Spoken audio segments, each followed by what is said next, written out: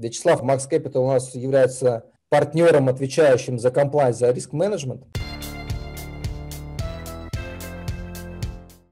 Вот, да, Максим там сказал коррекции, то есть это скорее всего она будет. Нельзя утверждать да, там на 100%, никто не знает. Вот, я сейчас с вами пообщаюсь, что, в принципе, любая коррекция, она не страшна. Не так страшен черт, как его малюют.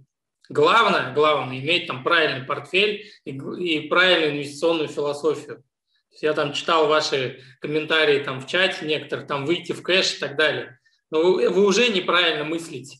Вы выйдете в кэш, а у вас инфляция будет 10%. Или там в России она 15 может быть, она сейчас в России 10. У вас за 6 лет просто ноль будет стоимость денег. У вас деньги ничего стоить не будут в кэше сидеть. И можно ждать год-два.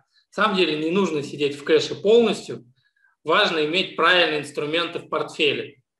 То есть там, что будет год, два, три, там, ближайший, может быть, там все очень плохо, а может и не быть. Здесь можно смотреть только на макроэкономику и на определенные вещи. Но ждать там коррекцию, то есть в кэше, в одном кэше, это мой, мой вам посыл точно не формат в условиях разгоняющейся инфляции. То есть хочу, чтобы вы это для себя поняли. То есть и у меня посыл такой ко всем вам.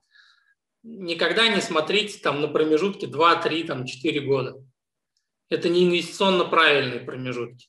Инвестиционно правильные, вы же не живете 2, 3, 4 года. Средняя продолжительность жизни там человек составляет порядка 70 лет. И вас не должны интересовать там какие-то краткосрочные импульсные движения. Вам нужно смотреть горизонт, ну, я считаю, хотя бы 10 лет.